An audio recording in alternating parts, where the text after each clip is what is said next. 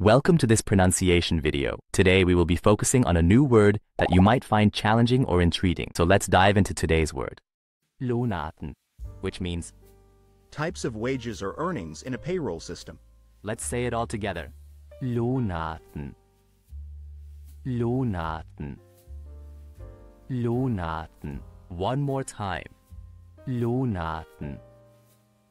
Lohnarten. Lohnarten. Thank you for joining us on this adventure in pronunciation. Remember, language is a journey, not a destination. Keep exploring, experimenting, and expanding your linguistic horizons. We'll see you next time.